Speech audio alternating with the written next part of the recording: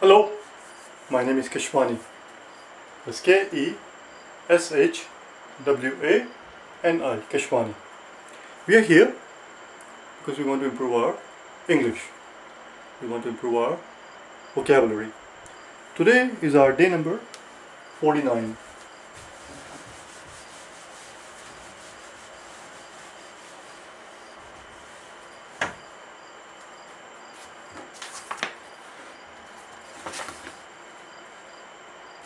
Day number 49. The very first word we have today is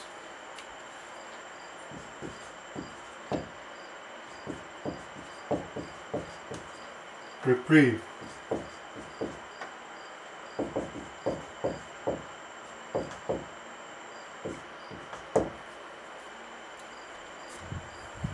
Reprieve. What does it mean? It just means reprieve is a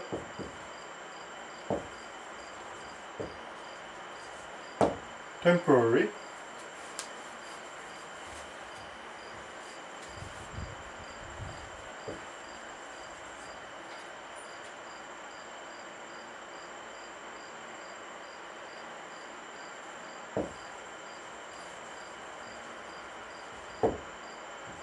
suspension of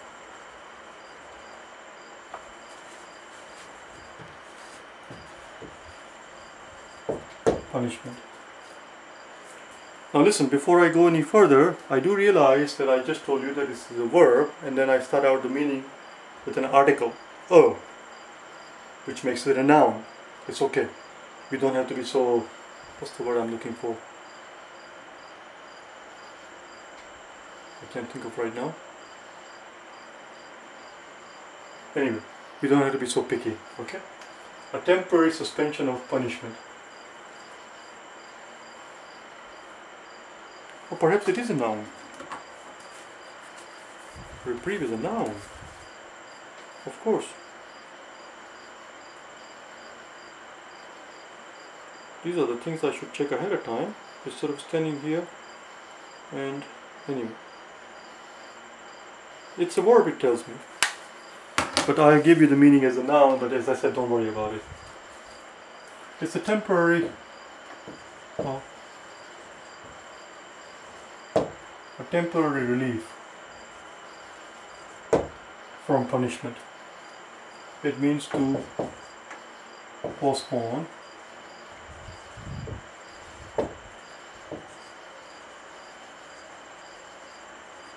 punishment, reprieve. Sometimes it just means to post postpone the punishment. Whatever the punishment is going to be has not been taken away, it has not been removed, it has just been postponed. Typically one hears this word reprieve uh, in the context of a person being on a death row and they were supposed to be executed at uh, midnight tonight but the punishment but they have received a reprieve from the governor. They have received a reprieve uh, which means they're gonna the, the execution will take place a month from now or a week from now or two days from now. Such an event is called a reprieve because it is uh, it is not a removal of the punishment. Person is still going to be executed, but it has been postponed for, for a while. It has been put off. To put off a punishment of somebody is to reprieve, is to reprieve. It is a verb. Voila. That's it. Let's learn one more word. So the word was reprieve. As always, I need the room, so I need to raise it, or perhaps I can put it here.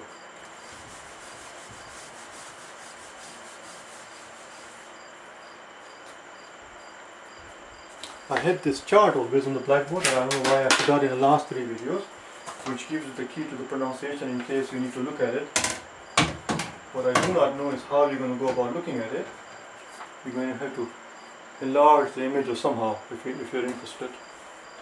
The word, the next word is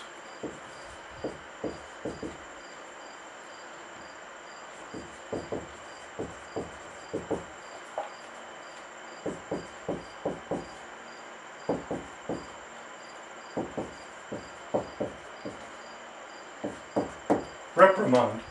Reprimand. Notice it's rep, ro, not re. Reprimand. What does it mean to reprimand? it means to to scold in a formal manner. To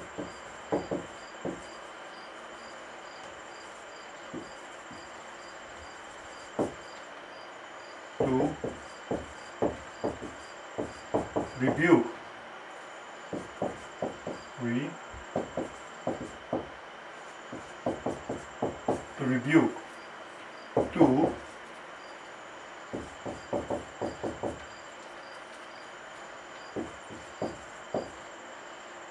censure. We'll learn this word in a second. It means to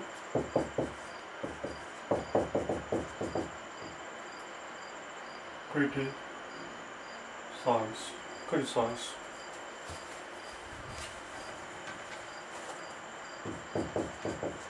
Should not have tried to put the word in that corner there, which is what slows me down and I find it awkward. I should have stuck with my habit, which is to erase it and then put a new word. Anyway, the word is reprimand. Reprimand means to rebuke somebody, to scold somebody, to censure, censure somebody, to criticize somebody, but in a formal manner.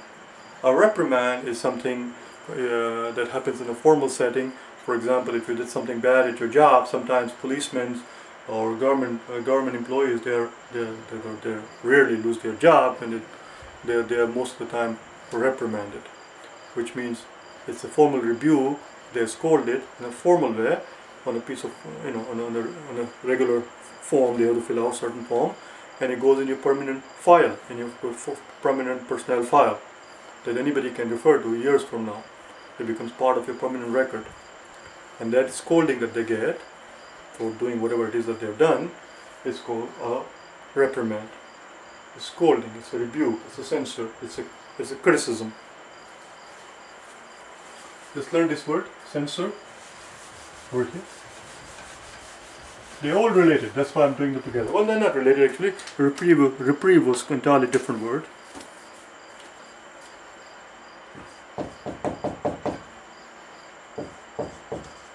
Sort of related, because it has to do with the punishment.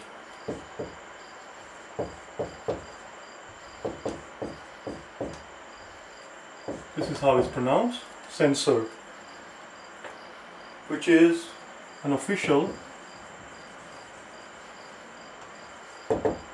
review. It's not just something your boss calls you in his office and, and tells you off. It's an official one. Records are kept and file uh, forms are filled out and put in a permanent file. It's an official review. It means a disapproval.